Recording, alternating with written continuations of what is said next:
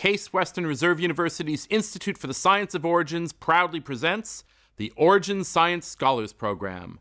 The Institute advances the scientific understanding and application of origins and evolution of human and natural systems. The Origin Science Scholars Lectures are presented with the assistance of Case Western Reserve University's Siegel Lifelong Learning Program, College of Arts and Sciences, and MediaVision. Tonight, it's my pleasure to introduce Laura Bernstein Kurtyca, a PhD candidate in biology at Case Western Reserve University and a graduate research associate at Cleveland Metropark Zoo. Her research focuses on understanding how animals in human care interact with their environment and in finding new ways to measure animal welfare in the zoo setting. Please join me in welcoming Laura Bernstein Kurtyca. I'm excited to be here tonight and to get to talk to you about something I think about a lot, which is how animals think. So I'm going to start by giving sort of a broad overview of animal cognition and then talking a little bit about the bear species. Um, then we're going to talk about bear cognition specifically. I'm going to go deep into three um, zoo-based zoo uh, experiments. And then we're going to talk about cognition and bear cognition as a way to measure and study animal welfare.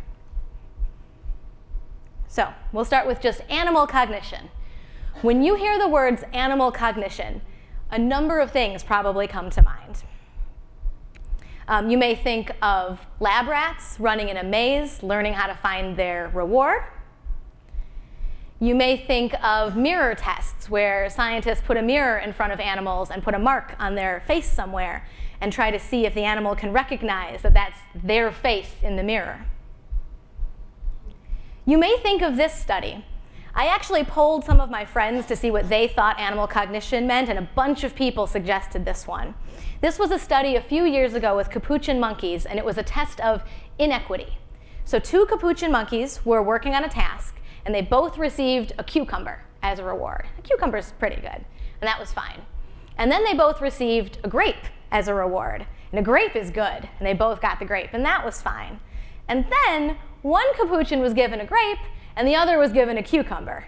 And if you've seen the video, and if you haven't, you should watch it, you've seen the, the capuchin given the cucumber gets really frustrated, starts beating his hand on the table, and he finally throws the cucumber back in the researcher's face. That's what that image is of there. Um, or you may think of tool use in animals. This is just a picture of a crow doing a tool use task. Um, tool use is something that a variety of species do and definitely comes to mind when we think of cognition. But what is cognition? What does cognition mean overall? It really includes almost everything, right? So cognition is often broken into two general sort of worlds, the physical world and the social world. So in this image, there's a coyote in a field, and there's some antelope back there. And you know that coyote knows, or deer back there, you know that coyote knows those deer are back there, and those deer know that coyote is there. And everyone's sort of aware of what's happening. And that coyote knows how to find food, where to go, what to do. And that's a really important piece of cognition, right? Finding food, and then there's the knowledge of the social world, understanding what to do with other members of your social group, who it is you want to huddle with in your meerkat pile, or who it is you're going to dig in the dirt with if you're those other meerkats. Understanding how to find social partners, how to interact with them, who to fight with, who not to fight with, who you want to be around, who you don't, that's also a part of cognition. The two may or may not be as separate as people sometimes think. One theory is called the social intelligence theory, and it's that cognition in primates evolved because primates needed to navigate complicated social relationships.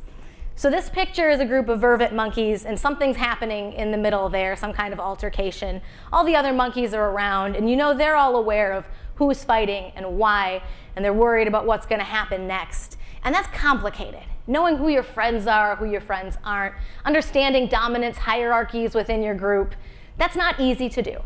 And so the theory posits that that's why primates evolved these big brains and this complicated cognition, was to be able to do this. But I'm not talking about primates tonight. I'm talking about bears. And bears don't have quite the same sort of social grouping that primates do. They tend to be in groups like these two here, a mother cub, that last for a couple of years and then they split apart again. Except that bears absolutely have social interactions with other bears, or you wouldn't end up with cubs. but they need to know who to interact with. Each interaction is a lot more important because it really matters if it goes right or not. If you're a male bear and you just stumble into another male bear, that could be a deadly interaction. So you have to know who's around. You have to know how to navigate that. If it's mating season, you got to know how to find mates. So it, it, may be that bears and other carnivores actually have a more complicated social world than we tend to think. I think as primates ourselves, we look at big groups of primates and we think, yeah, I get that. That makes sense. I understand what's happening there. It kind of looks familiar. But just because the social world of bears doesn't look the same doesn't mean it doesn't take some amount of complicated understanding. It's also true that bears have complicated ecological problems to solve. This picture is actually of a sloth bear uh, mother in India. She's carrying her two uh, infants on her back. Sloth bears actually carry their babies on their back till they're almost nine months old, which they're getting pretty big by that point. But they don't do it, you know, just because the babies are too lazy to walk. They do it to protect them from predators. And they do it to help teach them how to forage in their environment. Bears live in a complicated, changing environment and have complicated ecological problems to solve themselves. And it may be that complex cognition in bears arose to solve those problems, and it wasn't just for complicated social animals like primates. Okay, so I want to talk a little bit about each of the bear species. Um, so there are eight species of bears. I don't know if that's more or fewer than you would have guessed. Um, and I'm going to mention each of them briefly, and then I'm going to talk a little bit about each one. But first, I'm just going to list them for you. So polar bears, brown bears, which covers a range of subspecies, black bears, Andean bears, also known as spectacled bears, Asiatic black bears, also sometimes called moon bears, giant pandas, and sun bears. Now, just out of curiosity, how many of you found there were bears on that list you hadn't heard of before?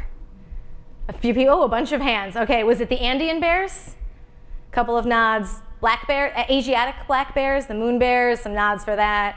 Yeah, sloth bears. Yeah, I think that's one too. Okay, what else? Sun bears? A Couple of nods. Okay, well then I'm really glad we're talking about them all. Okay, I'm gonna start with polar bears, which I imagine everyone in this room has heard of before. And for each of these species, I'm going to tell you where they live, what they eat. I'm going to tell you whether or not they hibernate, because if you can believe it, that's the question I get asked most about any bear species, if they hibernate or not. And I'm also going to mention their IUCN Red List status. So that's the international group that assesses whether or not animals are endangered, if they're threatened, that makes those distinctions. So polar bears, as you know, live in the Arctic. They're obligate carnivores. That means they have to eat meat. Polar bears have to hunt. They wouldn't be able to survive on plants alone. Uh, polar bears do hibernate. It's very cold in the Arctic, and even with hunting, there's not a lot to eat for a few months in winter. And their status is vulnerable, which means while they are in trouble, there is still time. All right, brown bears live in North America, Northern Europe. And while that's sort of the umbrella term, there are multiple subspecies of brown bears. Grizzly bears, Kodiak bears, Hungarian bears, there's quite a few subspecies of brown bears.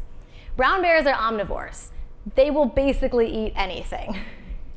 and they have to, because where they live, when they wake up from hibernation in the spring, there isn't much to eat except for some roots and maybe some tubers they find underground. And then as the season changes and different fruits ripen, they're able to follow those. Uh, if they live in Alaska and they're able to eat salmon, they eat salmon when the salmon are around. Um, and they absolutely hibernate as well. And they are considered, their status is least concern. That doesn't mean there's no concern, and it doesn't mean that there aren't some subspecies and populations of brown bears uh, who are in trouble. And in fact, there's some subspecies have gone extinct, and brown bears definitely don't have the same range that they used to. American black bears, um, they're really North American black bears. They live in Canada and in the United States. And while they do overlap some with brown bears, they venture far further south into the US than brown bears do. They're also omnivores. They'll also eat just about anything. Um, you may hear stories in the news about uh, black bears in particular wandering into kids' parties, falling through roofs, and eating all the cupcakes. um, black bears are actually also the only species of bear whose number is currently increasing. So black bears are slowly starting to come back. Doesn't mean they don't have problems either, but they're at least their status is of least concern. Okay, next up is Andean bears.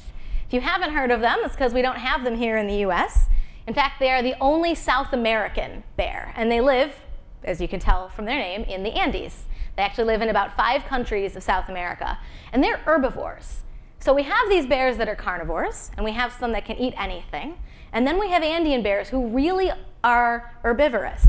They'll eat meat. They'll eat small rodents, they'll eat things they come across, but they mostly eat bromeliads, a kind of plant that grows in South America. And they're very arboreal, so they climb trees a lot to eat. Um, they do sometimes attack cattle, which is a problem for farmers in South America, and this happens when farming land starts to encroach on the bear's habitat. So it's something that is slowly increasing. They don't hibernate. They don't need to. It's warm enough where they live that they're able to find food all times of year. And their status is vulnerable, and that's partly because we only now have research telling us how many bears they are. They're hard to study, they're very cryptic, they hide, they're hard to find. And we now have a, a, general count, I think, I can't tell you what it is, but a count of how many bears there are. So 10 years from now, this may change once we know if they are decreasing in the wild. Okay, sloth bears. Sloth bears are not sloths. They're not related to sloths. I think people called them that because they have big claws that sort of look like sloth claws. Uh, they live in India, Pakistan, Sri Lanka, and Nepal. And they are insectivores. So they have adaptations to actually eat insects the way aardvarks or anteaters do. They'll tear open termite mounds and suck the termites out of it.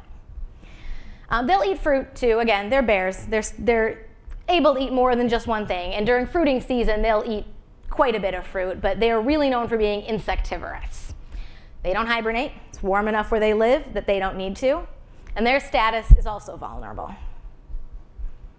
All right, another lesser known species here, I think, are Asiatic black bears. So these live in the north in Asia, Japan, China, even into eastern Russia, and a little farther into South Asia sometimes. They're also omnivores. They're actually fairly closely related to American black bears. And some hibernate and some don't. The ones up in the north where it's very cold and there's not food all year will hibernate, and the ones further south who don't need to, don't they too are vulnerable. Giant pandas, I think most people probably have heard of. Pandas are kind of a big favorite. They live in China, and they are not only herbivores, they are specialists. They only eat bamboo.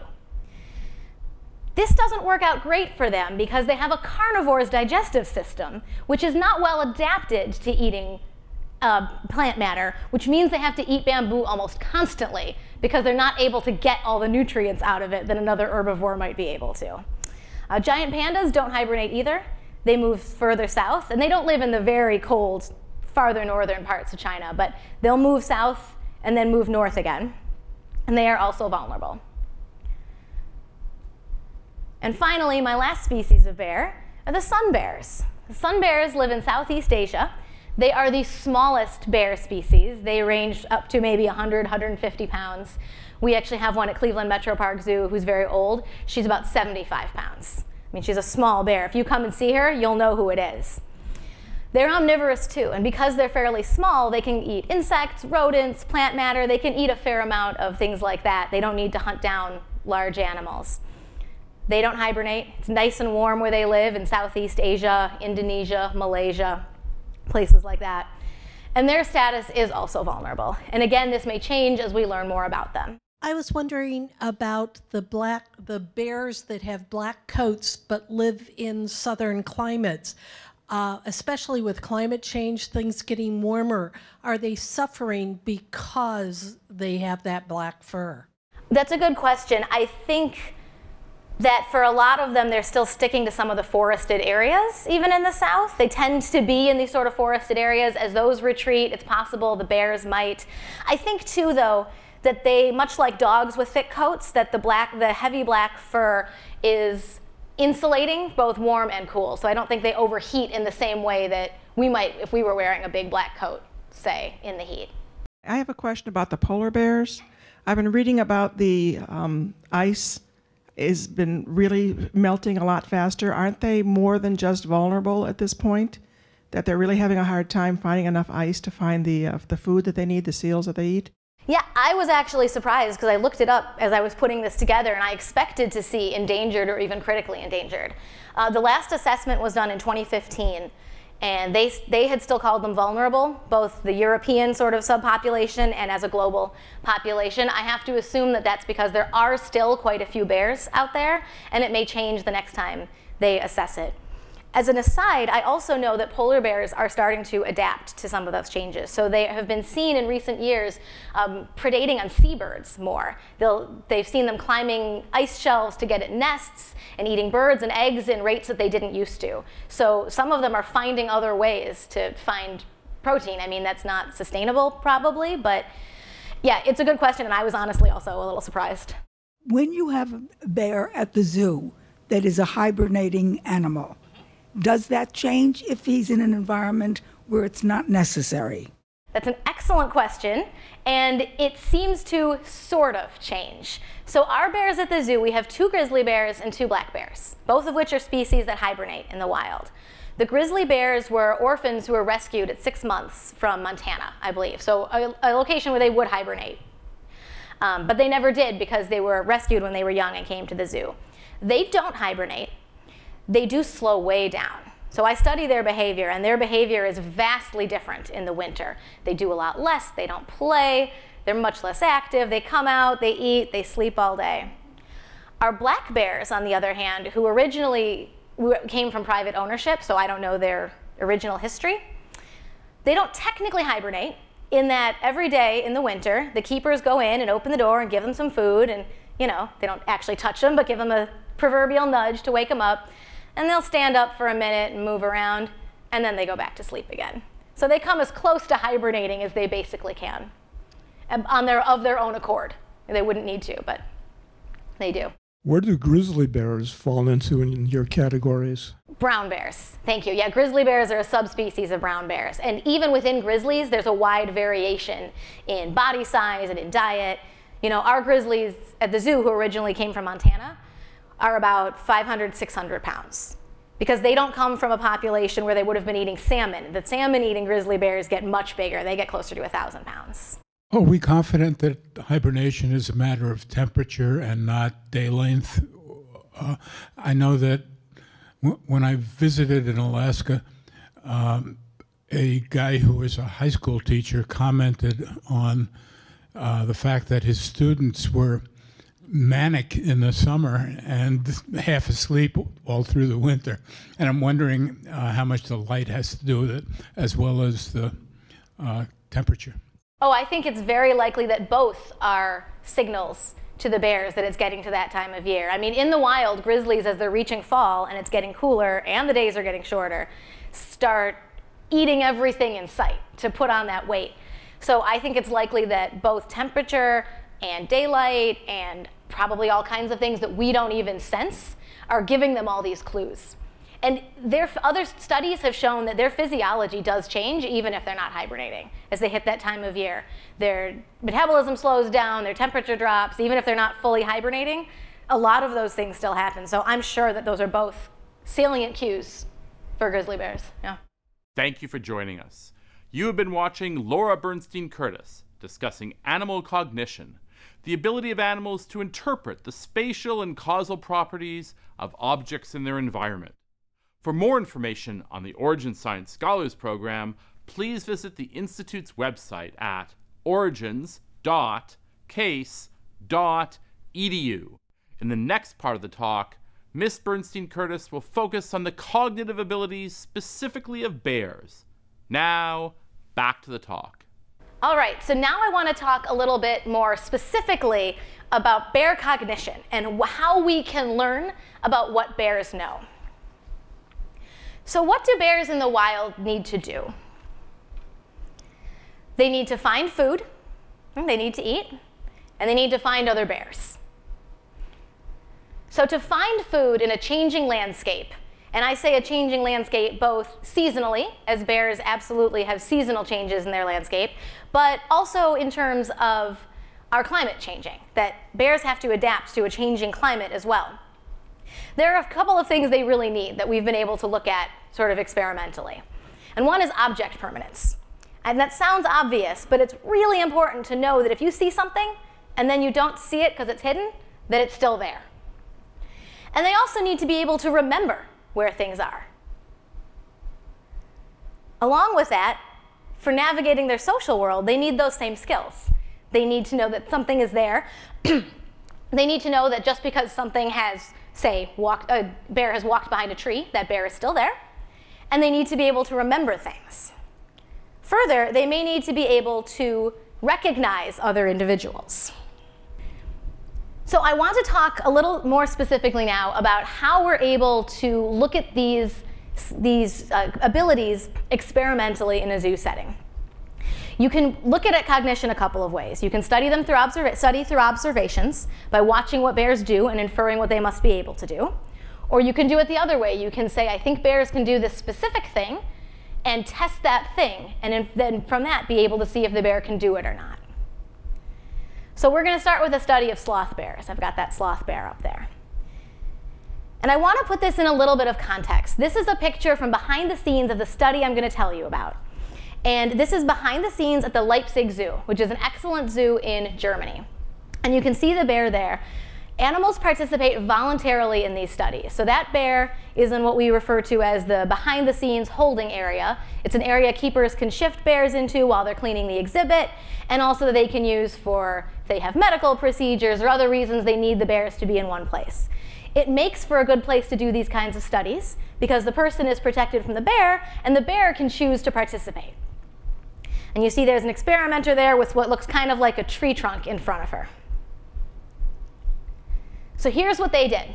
They took a fake tree trunk on its side with three holes in it, and they showed the, the bear some food, and then they put it inside one of those holes and covered up all the holes. And then they pushed the tree trunk up to the bear, and they waited to see which hole the bear picked.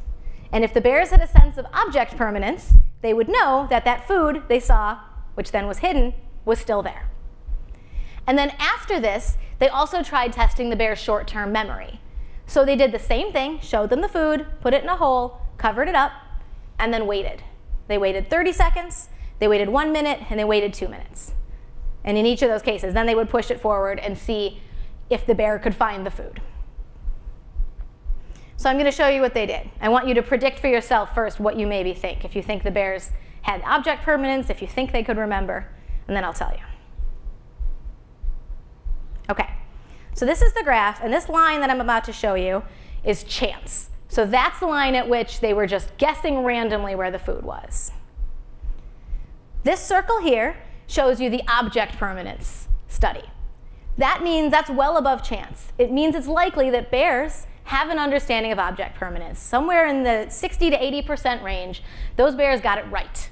They could, you, they wheeled the tree trunk up and the bear could accurately point, well, gesture with their paw probably, at the hole in the tree trunk that had the food in it. You'll notice that the other three things are right on that chance line. Those are the short-term memory studies. That means that if the experimenters put the food in the trunk, waited 30 seconds, and then pushed it forward, the bears did not do better than chance. They did not remember where it was. Which is sort of a surprise, right? You would think that bears would remember after 30 seconds where the food went. Uh, but it may be that for sloth bears, that's just not as important to them.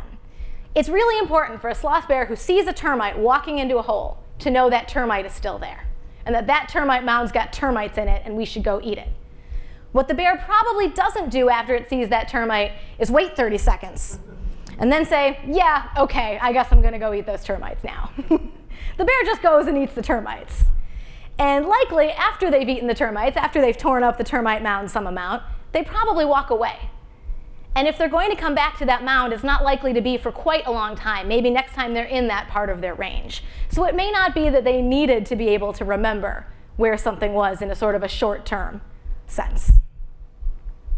Okay, next one. This one's about giant pandas. So if that was a study that showed that sloth bears have a sense of object permanence, let's think let's learn a little about giant pandas' memories. So this is the game of memory, and you've played this game, right? Where you have the cards flipped over, and you have to flip them over and see the matching cards and remember where the other star was, so you pick it, right? You all played this game before. This is sort of similar to what the experimenters did with these pandas. So what you're seeing now is what the panda saw in the other side of their exhibit. You see six drawers with lights in them and a stick in the middle. And that stick is called a target stick. And the panda sat with their face right against that target stick. And then the light would go on, and it would stay on for 10 seconds, and then it would go off again. And after two seconds, the panda had to push the button, that's those silver circles in the middle of each drawer, for the light that was on, to show that he remembered which light it was. I'm going to show you another picture here of the panda actually doing it. That's what it looked like. So you can see that panda there. She could voluntarily get up and leave if she wanted but she's sitting there with her face against the target stick. And what they did is they first tested in a baseline condition. So the bear only had to wait two seconds after the light turned off, and then they could push the button. And in order to cue the bear, the keepers used a, or the experimenters used a vibrating timer. So it'd be vibrating, vibrating, it stops vibrating. Now the bear knows I can go ahead and push the button. So they did it for two seconds, and then they added up. They added in increments of two, four, six, eight, 10, all the way up to 20 seconds to test the bear's memory. So again, I want you to predict how you think the pandas did, knowing what you already know about sloth bears. All right. So this was how the two pandas did on this memory task. So again, I'm going to show you chance, just to emphasize that black line there is if they were guessing randomly. And as you can see, the blue and the pink lines, which are the two bears, are well above chance. So they weren't guessing randomly. They remembered which lights went off particularly in the early time periods. So at, at uh, two seconds, they got 60% of those right. And if you think about it, you might think they should do better, but how good are you at the game of memory, right? It's hard to remember what went on where. So maybe 60 seconds isn't bad. And they did pretty well, four seconds, six seconds, 10 seconds. They could still remember which box was lit up, right until we got to 15 or 20 seconds when the task got hard. And they weren't able to remember anymore. So how would they have done on that 30 second sloth bear task we had before? Maybe not great. Yeah, maybe they couldn't have done that either. Alternatively, how would the sloth bears do on this? We don't know. Maybe the sloth bears could do 10 seconds, and 30 seconds was just a little too long. These are great questions that I don't know the answer to because no one has done these studies in these opposite species yet. Um, the other thing I'd like to point out about this study is that when the bears started forgetting which light was lit up, they still remembered which side it was on. So when they made mistakes, they weren't guessing randomly. They could still kind of remember, oh, that was on the left or that was on the right. So their memory wasn't only restricted to it, they still kind of had a general sense of where something was, which might be enough for pandas who basically eat bamboo. They're not chasing down prey in the tundra. Maybe remembering the general area where something is is good enough.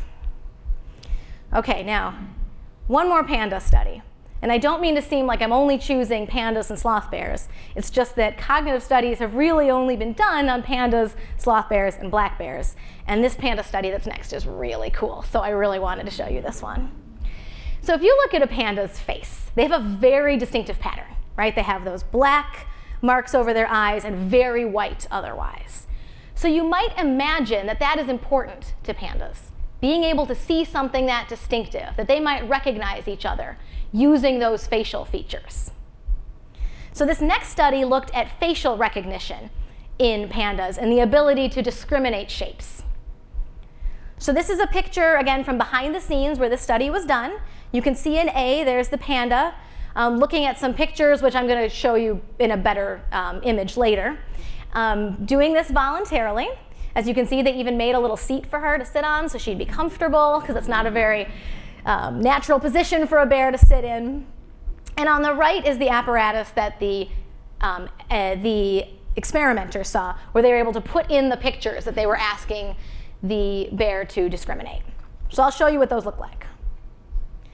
That top row was the very first test. So the bears had to learn to discriminate a circle from a square and a triangle, which look pretty different from each other. And they did this by putting the cards, the square, the circle, the triangle, in front of the bear and rewarding the bear for touching the circle. And then they'd mix them up, and now they're in a different order. And now it's triangle, circle, square, and the bear would touch the circle. And they did this until the bear was able to distinguish the circle in any combination of those cards. So, okay, bears can tell circles, fine. Then they made it a little harder.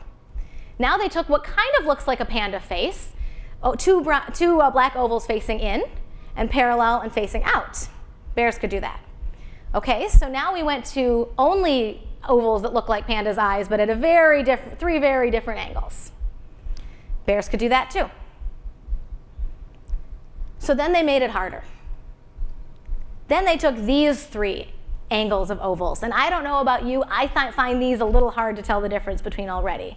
So 80 degrees, 64 degrees, and 48 degrees. So not that different. And they had the bears distinguish these, these uh, shapes. They could do it. Fine, then they made it harder. Now they look a little more like panda bear markings. Still somewhat different from each other. I think that most of us could tell the difference between these three shapes, and the bears could do it. You ready for the next one? They said, fine, bears, let's see what you can do. So now they made it really tricky. So now the bear had to tell that shape when it was mixed up with variations of all those other shapes. And they could do it for that row, and for this row, and for this final row. And when I look at those, some of them seem easy to tell the difference between, and some do not, that I think I'd be able to tell fairly easily, and some would take some practice.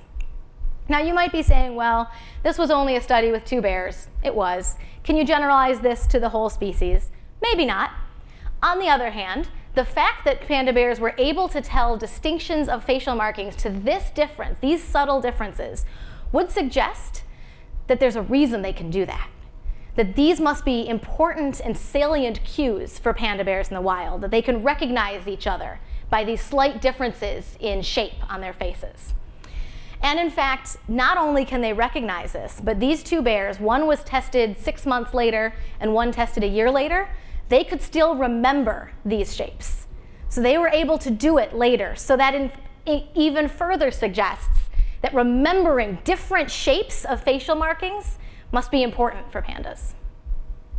I don't know if they tried the short-term memory test on this. This was it right in front of them the whole time. I don't know how they do on that. And I also want to make it clear, it's not just that they got this right one out of every 10 times. They were able to distinguish these shapes 80% or more of the time in three consecutive sessions. So it wasn't just by chance and it wasn't just that one bear got lucky. They were able to recognize these shapes repeatedly. This is a little unfair, but you know, we use vision a lot, so that's logical that you would look at those sorts of discriminations. But as we know, bears have extremely good smell. They have similar tasks. I don't know how you would define different smells, but is there similar work done with odor? People have tested, I think, just to figure out what bears can smell and what they haven't. Um, they've done it in other species, like an elephants, smell works better. They don't have very good vision, and so they found that scents work much better. Um, pandas in particular, vision seemed worth testing, in part because they seem to be, they have other cues suggest that they are very visual bears. So for example, um, they scent mark in the wild to mark where they've been and other bears can find them. Pandas almost always scent mark and scratch the tree. So the tree is marked and it's scent marked. And, it, and they've done experiments sort of where they've seen that if they mark something with scent and they don't scratch the tree, like if the experimenter doesn't mark the tree, the bear is less likely to notice the scent mark. So pandas in particular seem to be visually attuned, which I think is one reason they thought this was worth looking at, that it may be related to these other visual skills, that if it's so important for them to recognize social individuals, it may be more important to them than possibly other species. First of all, what was the purpose of the target stick? And second of all, um, how were the bears rewarded? The purpose of the target stick was so that the bear wouldn't shift and sit in front of the light that had gone on and thus help themselves remember, basically. It was a neutral spot where they had to stay so that all they could do was look at the light and remember where it was. Um, and they were rewarded with small food rewards. So often that's some kind of fruit, grape, apple, something like that.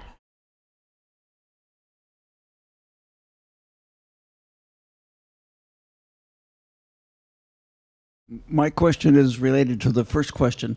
Uh, uh, I was wondering whether in that uh, uh that experiment where the uh, the log was uh, lying down and there was holes in it, whether the, was the smell that the the bears were using rather than visual memory. Excellent question. Um, so they the experimenters did a control to make sure that the bears weren't just following the scent and not remembering where the food was. And to do that, they would bait the log where the bears couldn't see it. So they'd put food in it out of sight of the bear, push it up in front, and see if the bears could find it, and they couldn't. They couldn't do any better than chance. Which means that the experimenters used food that didn't probably have a very strong scent to it and was far or far enough back that the bears couldn't find it, which is how they controlled for that. Yes, thank you. Excellent question. Given that you've done this experiment on a couple of bears in most instances. Can you generalize those results into the basic population? I think it's tough to generalize beyond. Do you mean within the individual species or to bears as a whole? It's an interesting question how much you can generalize from these studies to the whole species. Um, and I've had this discussion with other people before about depending on how bear animals are reared, if they're able to do more things than their wild counterparts could do. It seems unlikely that they'd be able to do something that was totally outside the capabilities of other bears. Now, I'll grant if only two bears are able to do something, it's tough to generalize to everyone, but I think it suggests that that is a reasonable question to ask, and it would be worth doing in a bigger sample because it's likely that if these two bears who just happen to be the bears there can do it, there's a good chance that others are able to do it too, even if not every single bear could. Besides the uh, intrinsic curiosity you and others have about the capabilities of bears and other species, how, how does it help you in terms of assisting their survival or staying with us here on the planet? I think understanding what bears can do and how they use the resources that they have or how they are able to navigate their habitat is helpful to people who are working to conserve bears to understand, for instance, what needs to be conserved. Or to understand that if you cut a habitat down too small, maybe they won't be able to find um, the food they're looking for. Um, I love that you asked that question because it's actually a great segue into my final section as to how we're able to use their cognition uh, to improve the way we take care of them uh, in zoos as well. We hope you've been enjoying the Origin Science Scholars Program with Laura Bernstein Kurtyca. Ms. Bernstein Kurtyca is a graduate research associate at the Cleveland Metropark Zoo and currently completing her PhD in biology as part of a joint program through the Zoo and Case Western Reserve University's Department of Biology. In the second part of our talk, we learned how bears' cognitive abilities relate to their lives, especially their search for food. In our final segment, Ms. Bernstein Kurtyca will talk about how our understanding of bear cognition affects our ability to assess their welfare in captivity. Now, back to our talk. So now, bear with me. Yeah, yeah, I worked on that. We're going to take a leap into a slightly different direction for a minute before we come right back to bears. So as I mentioned, I also work at Cleveland Metro Metropark Zoo, and I wanted to talk just a little bit about zoos, and especially the Association of Zoos and Aquariums, or the AZA. AZA is the accreditation body for zoos in North America. And in order to be accredited by AZA, a zoo has to reach a number of standards um, in animal care, in animal welfare, in safety, in conservation, in education. And it's something that takes a lot of work on the part of the zoo to do. In America, there are about 26,000 or so licensed exhibitors of animals. And the word zoo is not copywritten anywhere. Anyone can use the word zoo.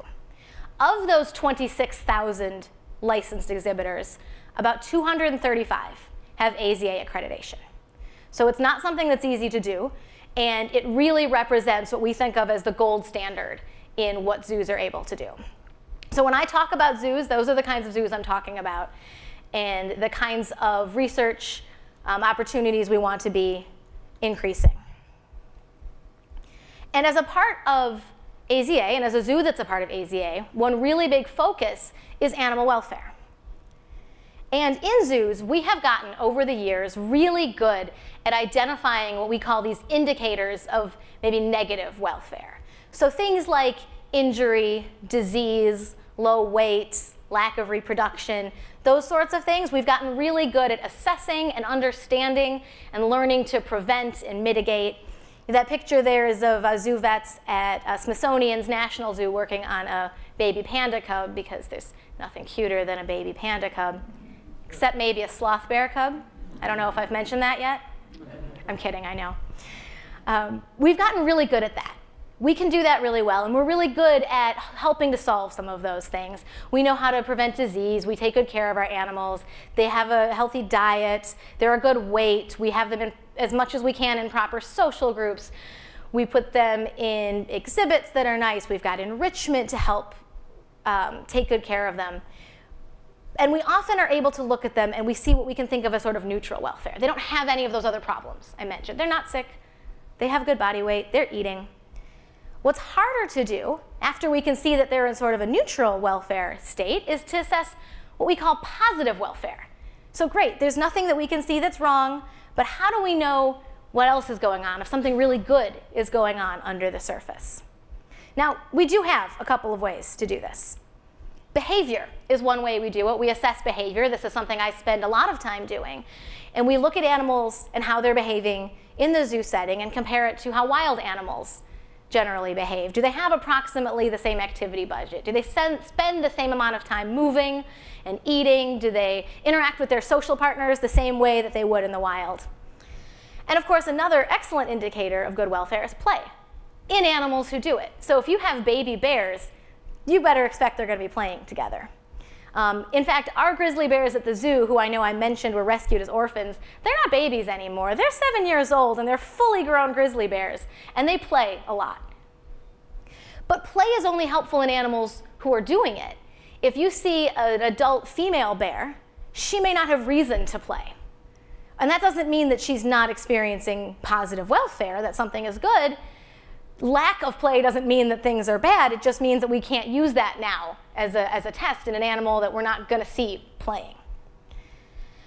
And people often ask when we talk about animal welfare, they'll say, yeah, but how do you know the animals are happy? Right? Which is a tough question. If I asked you, how do you know you're happy? That's not always an easy question to answer, right? Let alone trying to do it for animals. But that doesn't mean that how they're feeling isn't something that we might be able to look at and use as a way to assess their welfare. So I want to talk now about a new way of, a new method of assessing uh, animal welfare. And that's using something called cognitive bias. And this comes from the human literature. And it's the idea that how you're feeling affects how you behave. And it might affect how you respond to some sort of test. Specifically, your expectation of outcomes. So we know that humans who are anxious or depressed are less likely to predict positive outcomes, right? They're not as likely to expect good things to happen. They're more likely to expect bad things to happen. And this is actually a question we can ask in animals. And I'm going to explain in more detail in a moment. When I say this is a new method, it's actually been done for the last 15 years or so in a whole variety of species. So every species up here plus probably a good 20 more or so, people have done these sorts of tests in. It started out in laboratories, people looking at lab rats, and has been done quite a bit in farm animals, domesticated animals, and is starting to work its way into zoos as a way to look at welfare. Okay, so how do we ask animals how they feel? I'm going to ask you to play along with me for a minute. Indulge me, please. When you see the black box on the next screen, I want you to raise your right hand. And when you see the white box, you're going to raise your left hand. Okay, so let's practice. Black box, right hand. Good. White box, left hand. Good. Got it? Okay, let's practice. Okay, what, right? Good. Left. Good. And one more time. Right. Good. Left. Good. All right. I saw a bunch of double hands. I like that. All right, so I know you're thinking, hey, what was that gray box? That was a trick. You said it was going to be black and white, and now you're showing me gray. Well, of course, the gray box is actually the test. That's what we call the ambiguous stimulus. I taught you two ends of a spectrum, black and white, and then I wanted to see what you did when I showed you something in the middle. Okay, so now we're going to up the stakes a little. Well, not really. I'll need you to pretend with me. you do still get dinner. I want you to imagine that you're going to get as a reward a high value food item. Now, I didn't bring any for you, I'm sorry. Um, plus, we probably all have different high value reward items. But whatever would be your favorite, maybe chocolate, maybe french fries. For me, it would definitely be a Reese's peanut butter cup. But you can imagine your own, what would be a really high value food reward. And we're going to use food because bears do things for food. We do things for food. I think it's appropriate. That's your high value. Your low value reward, though, is going to be something a little different. It's still going to be something good, but it's not a Reese's peanut butter cup. It's probably not even like a sandwich or something. I think for your low value reward, I want you to imagine I'm going to give you a high five. Right? And that, I mean, that's fine. I must seem like a cool lady, right? That would be neat, but that's no french fries. That's no bowl of ice cream. All right? Okay. So we're going to connect that now to the task. So when you see the black box, I want you to imagine you're getting your high value reward. And you raise your, which hand? Right, right hand, thank you. And when you see the white box, you're going to get your low value reward, which is a high five. And you're going to raise your left hand. Okay, are you ready? Right? Good. Oh, you guys are great. Left? Good. All right, what do you think? Right or left? You Got to make a choice. you only get to pick one. All right, so I see some people picking right and some people picking left. Great. So this is basically what we can do to ask animals how they feel too. It's what do you expect to happen? Which behavior do you think, which reward are you going to get for that thing that's in the middle, that's not the two things you learned? Basically, there's an optimistic response and a pessimistic response, right? So if you're feeling optimistic, you're excited about this talk, you really like bears and you haven't heard much about bears before, maybe you know dinner's coming and you're excited about it. You saw gray and you thought, yeah, gray is worth a peanut butter cup. Gray is worth my french fries. Definitely, I'm to get that. Or maybe you're a little tired tonight. It was snowing yesterday and now it isn't, and you don't know what's going on with this Cleveland weather you were tired, you didn't want to go out on a Tuesday, you saw Gray and you thought, Gray's not going to get me anything good. I can't believe dinner is still another eight minutes away. There's no way. I'm definitely just getting a high five for this Gray box. Now, this is obviously an oversimplification, but not really by much. This is basically how we can ask animals the same thing. Now, I'm not giving bears Reese's peanut butter cups, don't worry, um, but their high value reward still might be a grape or a piece of apple, you know, some kind of nice fruit that they don't get a lot of. And the low value reward is going to be some food that they'll eat, but it's not their favorite. Maybe some lettuce, maybe a little piece of chow. Something fine, something they'll still eat, so they still want to work for it, but not as exciting as that grape or the french fries. All right, so the future then is that I am actually just starting this very type of study at Cleveland Metro Park Zoo. So we actually have four species of bears. I told you about our black bears and our grizzly bears. We also have Andean bears and sloth bears. And my hope is to do this with all four of these species. And what we're going to do is compare responses between different conditions. So they recently had an automatic feeder um, installed in two of the bear exhibits. And that's a machine that goes up high, and when the bear is in the exhibit, it turns on unbeknownst to them, and shoots food down at random times. Right? So that's exciting. Food raining from the sky when you don't expect it. That's pretty good. Um, and we're going to compare responses on this type of task, responses to that gray box, after they've been in the exhibit with the magic food raining down from the sky for a while, and when they've been in the same exhibit with the, with the food feeder off. So no magic food raining from the sky. And I predict that we will see more optimistic responses after the hour or so spent with surprise food showing up compared to the regular hour where nothing is showing up. Um, I haven't gotten quite started yet, so watch the space. I hope to be able to come back and tell you all about it at some point. Um, but for now, that's where I am. Okay, so in summary, bears have complicated ecological and social problems to solve. And they may, different species may have different challenges. I only told you about studies done in sloth bears and pandas, both of whom eat food that is fairly stationary, right? That bamboo is not going anywhere. And termites move, but the mounds don't get up and leave. I wonder how polar bears would do on some of those things. Polar bears who have to hunt down their food, or grizzly bears who do sometimes hunt down food, but don't always and don't always have to.